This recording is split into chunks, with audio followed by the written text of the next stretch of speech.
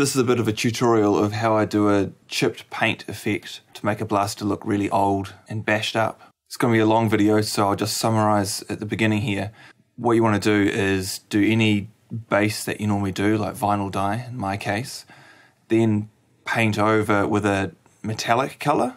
I like uh, aluminium. Then over that, you put little dabs of liquid latex and let that set. Then paint your overcoat over that then peel away the latex and that'll peel that overcoat with it, revealing the metallic colour underneath.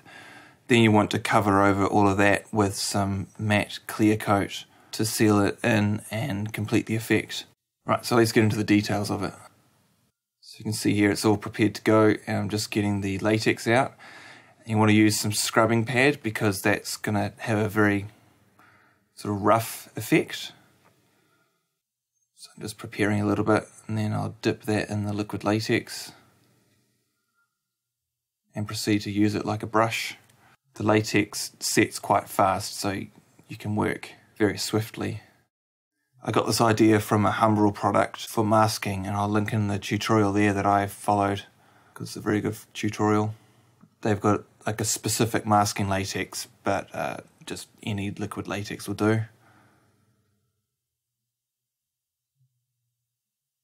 So I'm thinking about four main things when I'm applying the latex. First one is any corner. So that's where three faces meet.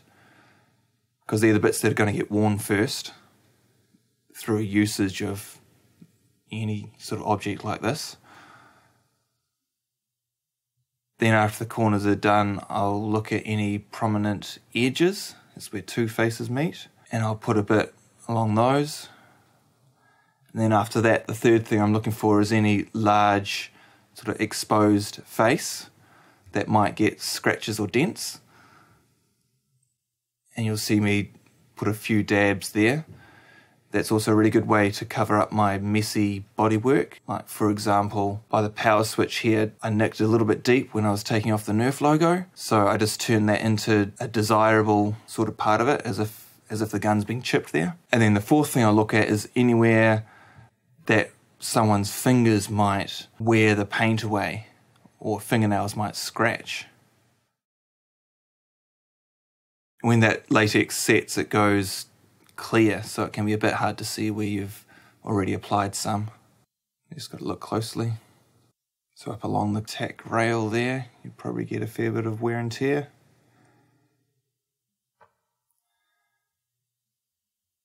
I've, I've, loosely assembled the gun before doing this because it's easier to see all the proud areas. There are some parts that are kind of protected and, and you wouldn't see any wear and tear there. If you did this on the disassembled pieces, then you might accidentally mask an area that wouldn't really actually see any wear when the gun is assembled. I got quite carried away with this. It could be done much more subtly.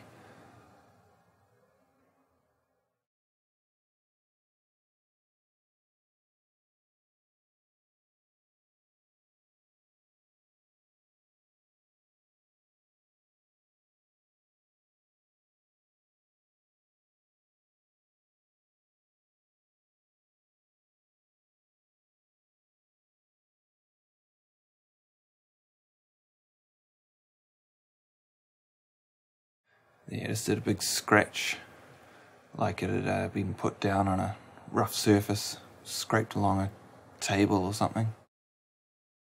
I put a heavy amount around the front there, because I, imagine that would get worn a lot when it's holstered, you know, shoving it into a holster.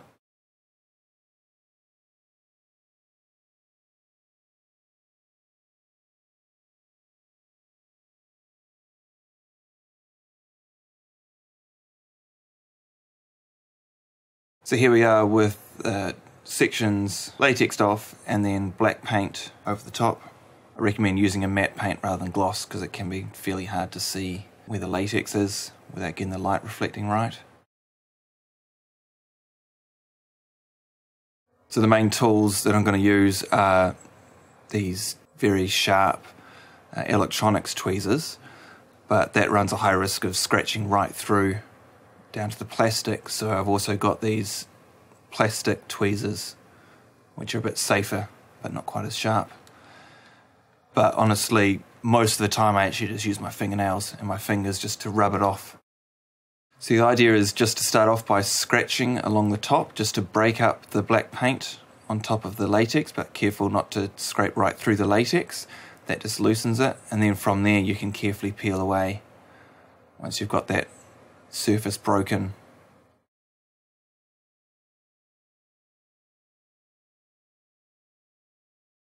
So you want to avoid really tiny bits of latex. You can see I was having a bit of trouble getting the very small dots off. So you want to make your blobs fairly sizable. So broken the surface and now it's just a matter of peeling off the latex. Another downside of using gloss paint like this is that it has quite a tendency to stick down after you've peeled it. You get a lot of flakes that you need to brush off.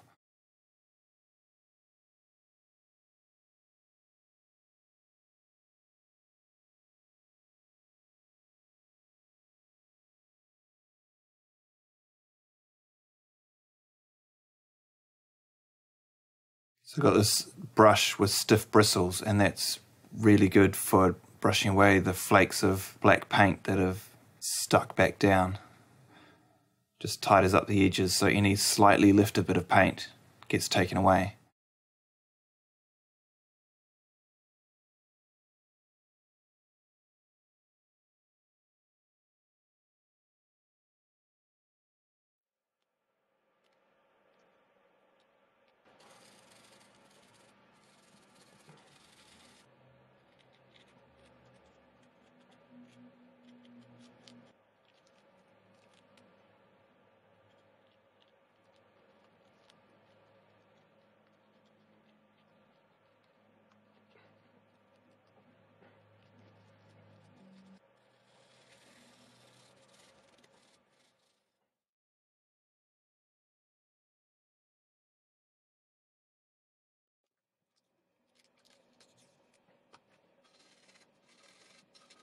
The end of the paintbrush handle can also be effective at breaking the surface of the paint.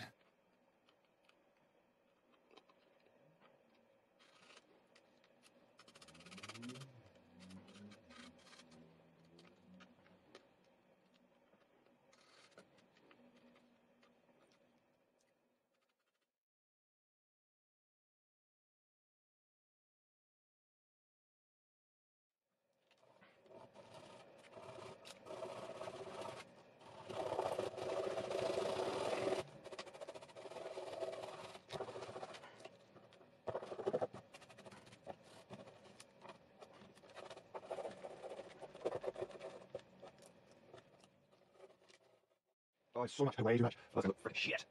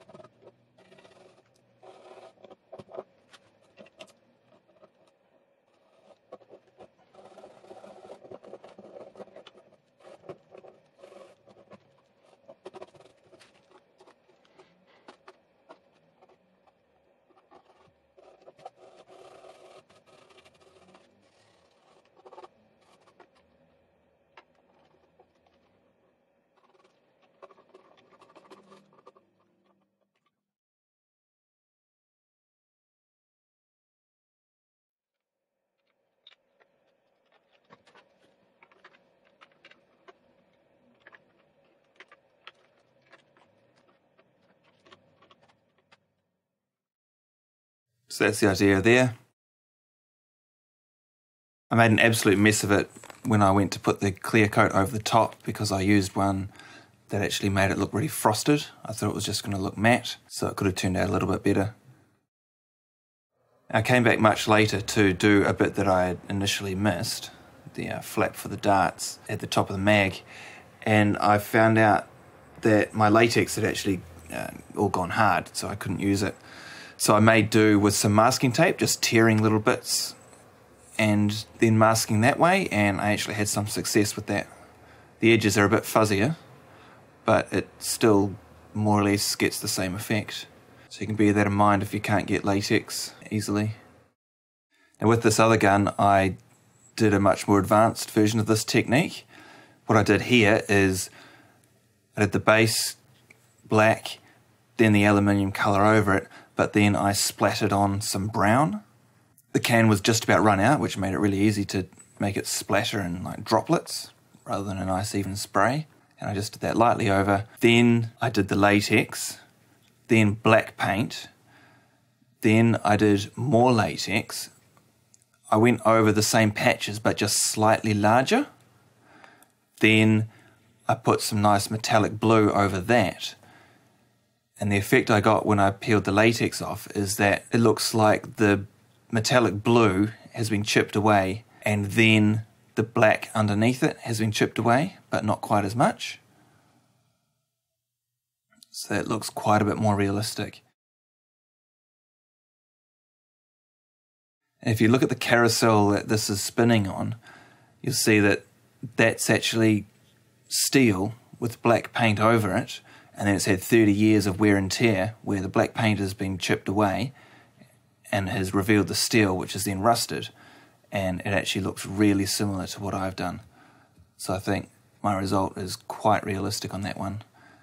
And then the overall effect is just made much better by the fact that I uh, put silver on all those screw heads and a bit of black detailing as well on there. And I even went to the lengths of uh, getting some brown to shove in all the creases, some sort of powder paint, so it looks like dirt build up. Just add to the realism. So I hope to see other people take this idea and see what they can do with their Nerf guns.